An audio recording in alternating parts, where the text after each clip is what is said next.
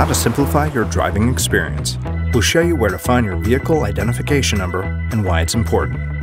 Your car's vehicle identification number, also known as VIN, is a 17-digit number similar to a serial number unique to your car. VIN digits contain custom information such as the manufacturer, the model, the country it was made in, the type of engine, and more.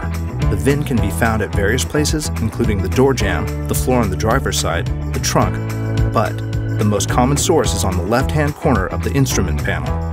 Peek through the windshield from the outside and you'll see it. There are many instances where you might want to check a vehicle's VIN. Many data registries use it to record details of the vehicle's history. You could find records of previous owners, cases of accidents, and service repairs. Refer to your owner's manual for more information about your car. A simple tip to know your car better. Chevrolet, find new roads.